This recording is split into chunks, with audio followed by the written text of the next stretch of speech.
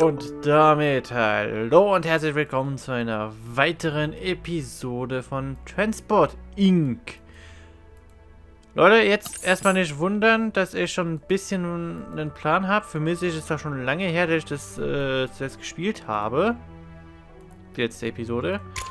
Ähm, jetzt diese Folge ist aber sehr rezent, zumindest für mich teilweise, weil ich habe gerade schon fünf Minuten gespielt und habe dann gemerkt, dass ich die Aufnahme nicht gestartet habe. So. Äh, deswegen habe ich jetzt schon ein bisschen eine Idee, was ich hier wie, wo, was mache. Deswegen mache ich jetzt einfach. Und äh, kann quasi schon aus meinen Fehlern lernen, bevor ich sie überhaupt gemacht habe. Zum Beispiel weiß ich, dass hier die Reparaturkapazität äh, ungenügend sein wird. Dass die da mal etwas schneller reparieren sollen. So, äh, Luxemburg war ja noch ein bisschen was. Da reicht ein kleiner Transporter.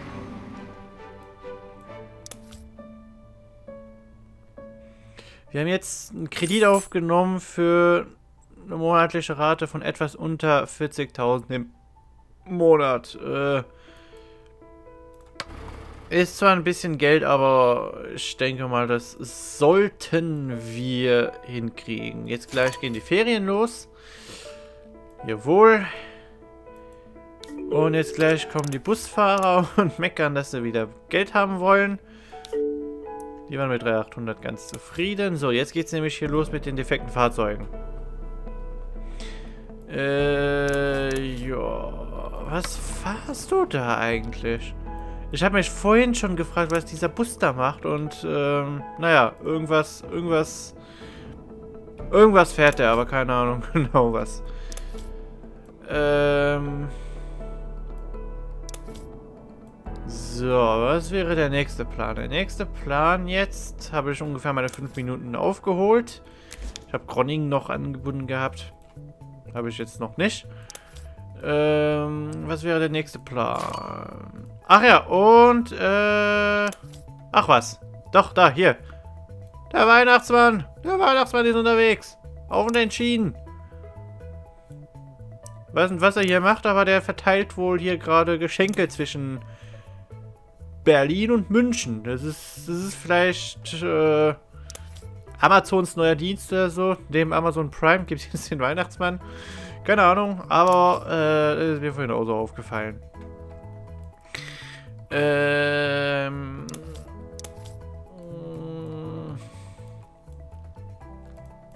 Schweiz, Österreich vielleicht als nächstes.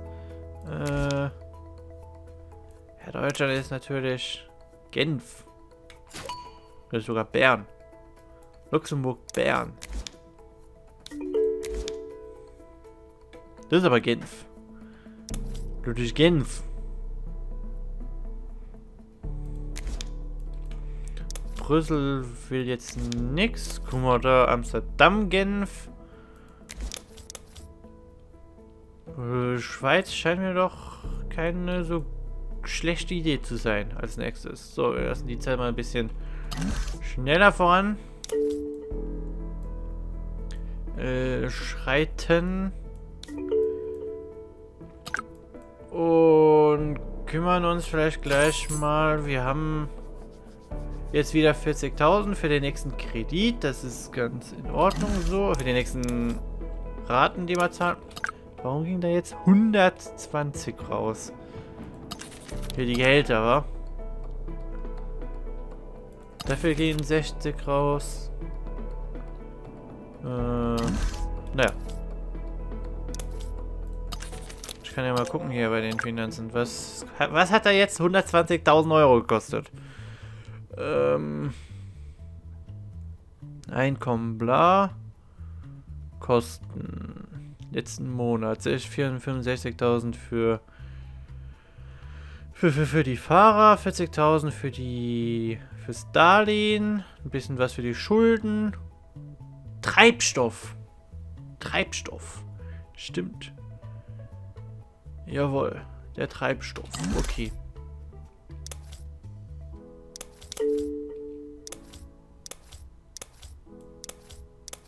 So, ja, wie gesagt, jetzt äh, gehen uns hier in England am laufenden Band die äh, Fahrzeuge, Fahrzeuge weg, aber die müssen jetzt halt irgendwie mit einem Depot erstmal klarkommen. Äh, 220.000.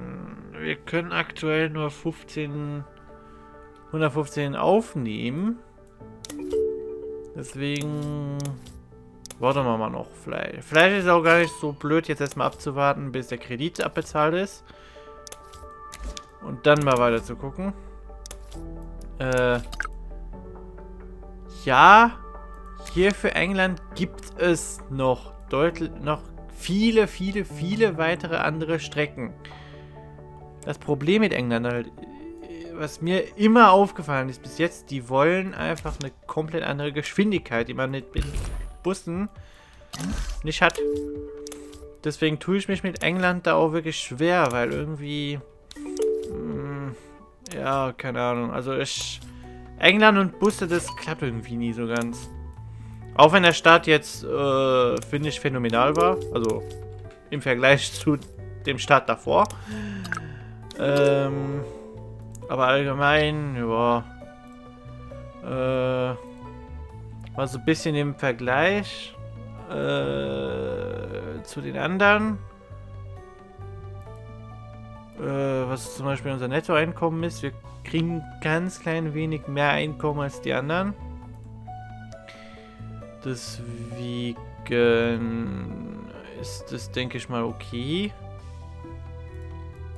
Wir müssen halt nur jetzt auch am Ball bleiben. Äh, was definitiv jetzt gar kein... Na toll.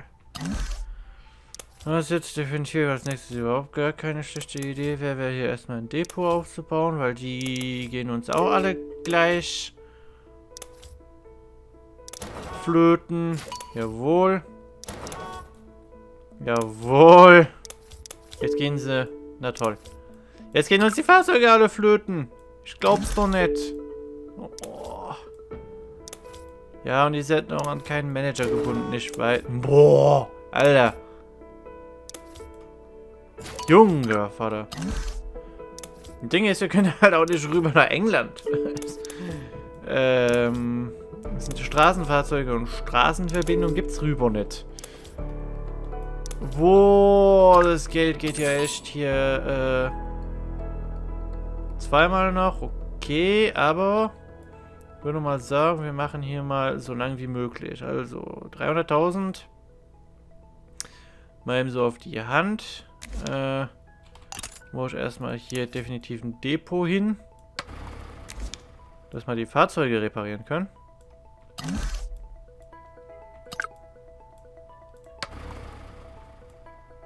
Damit das wenigstens weiter funktionieren kann. Ähm, ja.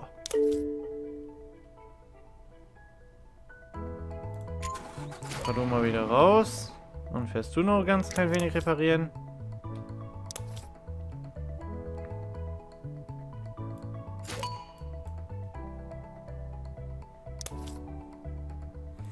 Und dann fährst du wieder raus und dann gehen wir hin und sagen jetzt erstmal hier dem Manager. Äh, jawohl, nehmen erstmal noch die anderen Fahrzeuge mit.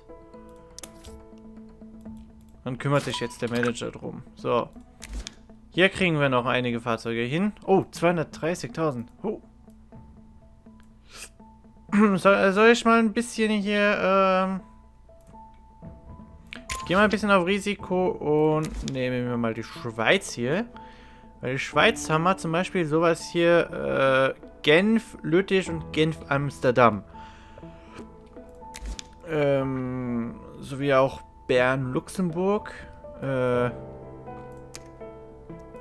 die zumindest theoretisch sehr, sehr, sehr schön aussehen, wie ich finde. Äh, müssen wir gucken, dass das auch so klappt. Scheiße, das war gerade zu spät. Ja, Weihnachtsmann.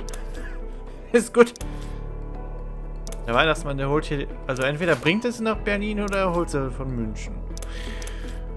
Ähm... Ja, warten wir mal ganz kurz ab. Aber Bern-Luxemburg werde ich zumindest mal versuchen. Was da so geht. Das sind ja nur Waren. Die sind ja in der Regel etwas günstiger zu unterhalten. Äh, deswegen sollte das eigentlich gehen. Der ist natürlich voll. Ah, ist okay. Es bringt ja, es bringt nichts da mehr Plätze im Depot zu, also mehr Parkplätze im Depot zu bauen. Ähm, wenn man nur eine Reparatur machen kann, ne, bringt es halt nicht unbedingt viel. So, äh, der wird hier auch gleich äh, aufgeben. Perfekt. wie, wie vorher gesagt. Was haben wir hier aktuell? Was haben wir hier aktuell? Äh, wir haben theoretisch alle Güter hier verbunden. Ähm, da haben wir jetzt noch keinen Bus drauf.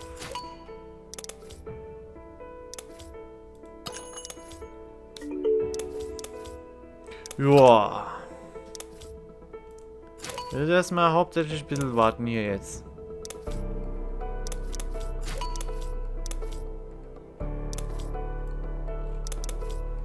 Dass wir mal etwas Geld rankriegen.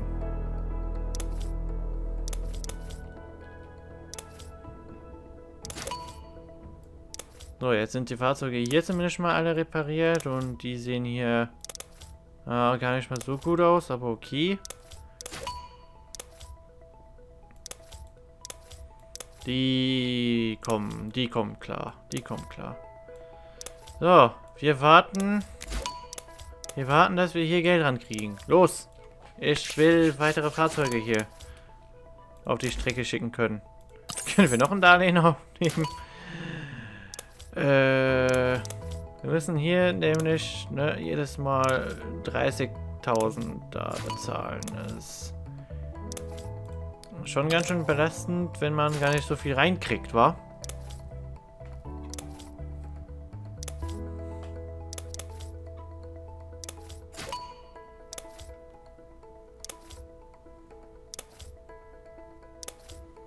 Wir machen etwa 150. Wir machen mehr Minus, als wir Plus machen.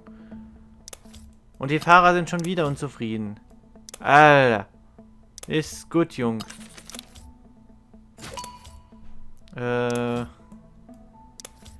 Okay. Äh, was ist der Plan? Der Plan ist, ähm...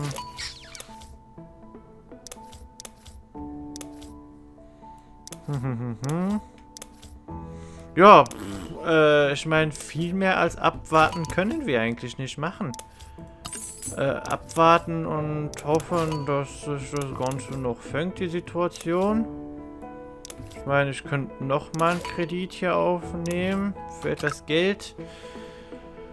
Aber das sind halt dann nochmal so viel mehr jetzt. Ähm weiß jetzt nicht, ob das so gut ist. Werden wir sehen. Ähm auf jeden Fall habe ich ak zumindest aktuell die KI, habe ich nicht die KI, die mir an die Fersen rückt. in dem Sinne aktuell noch entspannt, aber ich weiß ja, wie es letztes Mal bei Lasa gelaufen ist, wa? Äh, auch unscheinbar und plötzlich quasi hat sie gewonnen. Äh, mal gucken, ob wir hier aus den Schulen wieder rauskommen. Äh, ich würde sagen, das war's dann jetzt schon für diese Episode. Äh, zwischen dieser und der nächsten Folge werde ich einfach nur ein bisschen laufen lassen, irgendwie fünf Minuten abwarten. Äh, dass wir vielleicht aus den Schulen rauskommen, dass wir ein bisschen Geld haben, damit wir was beim nächsten Mal direkt anfangen können. Und ähm, wir sehen uns beim nächsten Mal wieder. Tschüss!